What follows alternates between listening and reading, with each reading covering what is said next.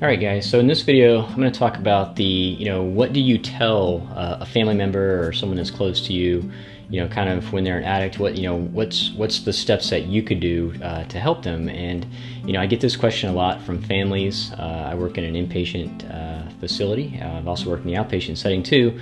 But, you know, families will quite often call saying, you know, what can I do? What do I do? Um, so I come up with like five steps or five kind of principles uh, that you should always keep in mind as you're you're dealing with this family member or someone that you're really close to. And I'd say the first rule is to uh, don't work harder than they do. Uh, because so many times I see family members who are saying, "Oh, I'm, I'm working to get them into this this rehab, or I'm, I'm, i want them to go to AA. I want them to do all this," and and uh, and really like the, the patient is not doing anything. And so what happens is the the family member just gets burnt out. And so what I just strongly recommend is you know don't work harder than, than they do as, as the first rule. Number two I would say is to is to accept them for for where they're at in the process. And because the the last thing you really want to do is to have them feel like okay I, I can't meet this expectation or there people are wanting too much of me because they've already experienced that.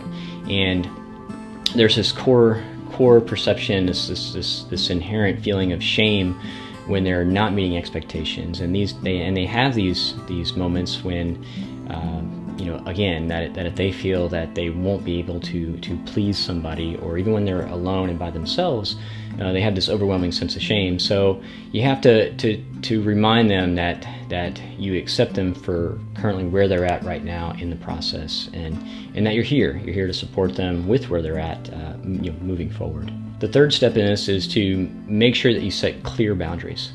Um, it's because the, the last thing you want to do, and, and I've seen this a lot too, is that when, when someone's going through this process, and obviously they're struggling, they probably already burnt the bridge with family members all over the place. You know, a lot of times when we talk to them, it's like, well, you have any family members that you can you can go to to reach out to for support? And, and a lot of times they're like, no, I've, I've, pretty much you know burnt every bridge that I have. So it's important that you you, you set firm boundaries. And so if you choose, say, to let uh, that loved one back into the into the family, the core unit of the family, um, you know, setting boundaries can mean like, okay, you can come and, and, and stay in this room, but the expectation is that if you stay in this room, you're going to, you know, be interviewing for jobs throughout. Or the option is you can, you know, you can stay in a tent in the backyard and, and we'll, you know, we still love you and, and we'll support you from there. So it's, it's, it's, it's about giving them a choice, you know, not an ultimatum. Because again, the last thing that you want them to do is to feel like their back's against the wall and they don't have any say so in the direction that they go. But if you kind of put at least two choices on the table, um, you know that they'll, they'll they'll still feel like they have some sense of power um, and control in their life. So, but it's key to to not let them impact the family, to not destroy uh, the family unit, and and to also for you to recognize that there's other members of the family who who you know don't need to feel like they're being ignored for this this one member. So it's it's it's really important that you set boundaries um, with that person. The fourth principle is to is to understand that the the best way out of addiction is it's it's through connection, and if you there's a study that was done, uh, it, it, was called the Rat Park, where they basically they you know they took mice and and they gave them the opportunity to drink from a, a bottle full of you know cocaine or, or, drugs or just water. And if the if the rat was isolated, uh, they would they would continue to drink the rat the uh, the cocaine water or, or, the the one with the drugs, and eventually, of course, they would die. But if they found that if the if the rat had connection with other rats, that they would never choose the uh, the drug, and they would choose the water, and they would live a long life, and they would essentially ig- ignore you know, ignore the substances. And this even occurred after they were already, if the rat was already addicted to something, they would they would just kind of wean themselves away from that. But the the principle of this is is that it's it's it's all about the connection uh, that you have with others.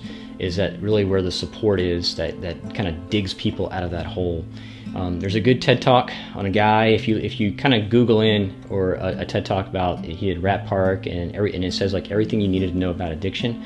Um, it's a great TED talk. I'd recommend you you strongly watch that because you'll understand it's not you know you know going to someone with a heavy hand just doesn't work. Uh, they they need that support. They need they need that connection with others. And if it doesn't happen with people, you know, perhaps you can start out with with you know with, with animals, taking care of you know taking care of a, a, stray animal, something that they can kind of see themselves in. Someone who's been kind of given up on.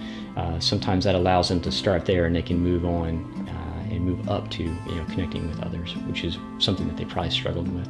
And of course, the you know the pretty much the fifth principle is to is is to kind of somewhere along the way as, as they go through this recovery is to kind of steer them in the direction of, of helping others. And you know because the, the data really does support that that when you help someone else, um, you're actually you know you get more benefit from that as opposed to you just doing something for yourself. If you do that same gesture or, or action towards someone else um, that it actually kind of kind of raises your level per se. And, and they found that that with addiction, um, helping others can really kind of uh, speed the recovery uh, per se, and actually help people make that more connection and and feel good about themselves because it's it's just moving away from that core sense of shame that they have is really the principle that we're, we're, we're trying to accomplish here. So again, whether it's volunteering, but it's just just a matter of helping other people is is a key step that you can do for them as well.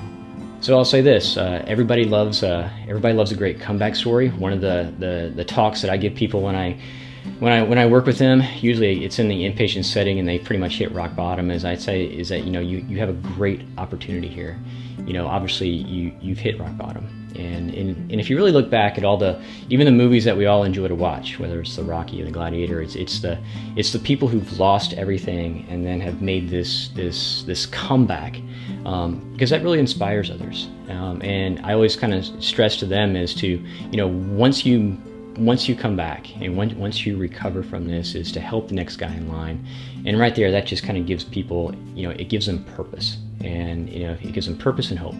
And if you can have those key features you know you can kind of pull your way uh, out of this and um, you know and, and have a successful life and one of the things that I would say to to remember, whether it's for, for you approaching them or even them themselves, is to is to define what success what success really is in this matter, and and to look at it. You, you can't look at it from a global perspective, saying, okay, well, success is you being sober for six months. No, no. Success is going to be is is winning the day, and, and it's one of the, it's just making those small steps and, and really asking yourself, um, you know, am I better today than I was yesterday? And whether it's as a as a parent, you know, as a spouse, as a partner, um, you know, if you can honestly tell yourself and, and, and say that I am better today than I was yesterday, then then you're moving in the right direction. So, if you use these key principles, um, it's it's pretty much you know, in my mind, it's proven that it's going to help people move forward in their lives.